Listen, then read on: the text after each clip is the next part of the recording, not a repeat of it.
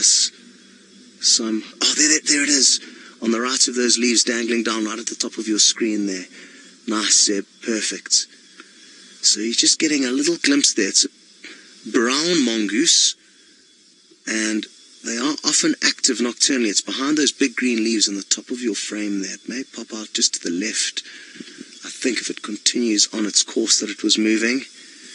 Please come out into the open. Because I don't think any of you have seen a water. Oh, there's one. Cool. Awesome. So this is the rarely seen water mongoose. And if we're lucky, we're going to see it foraging in the water for some snacks. It's following a small river. There it is. Doing what water mongoose do best, get into the water. And I wonder what you're looking for for dinner.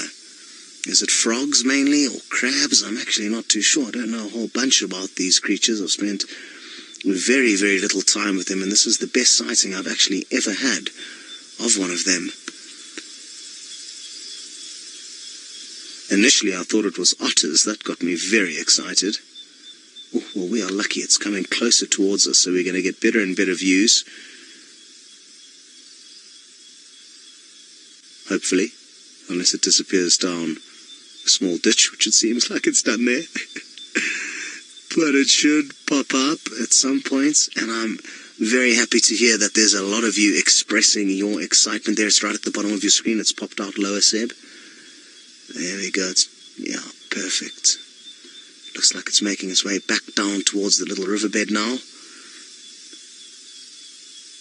Sheesh, it's making Seb's life tricky. The route it's deciding to take, but hopefully it's going to pop out now just in front of that little tuft of grass. There we go. Here it comes. Aha. Very good. How cool is this? Please find something to eat. It will be very useful for us to know what it is you like.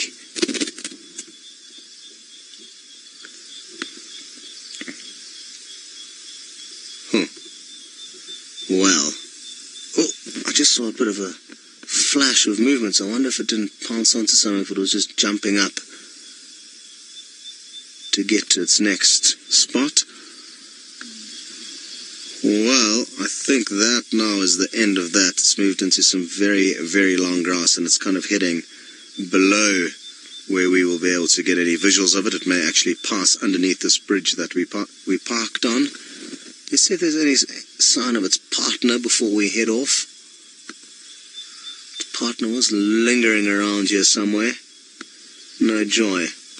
Oh well, that was most wonderful we got a rare special and possibly a first for a lot of you. Thumbs up. Well, interestingly, Byron has the possible prey that this water mongoose might be looking for, so why don't you go and take a closer look?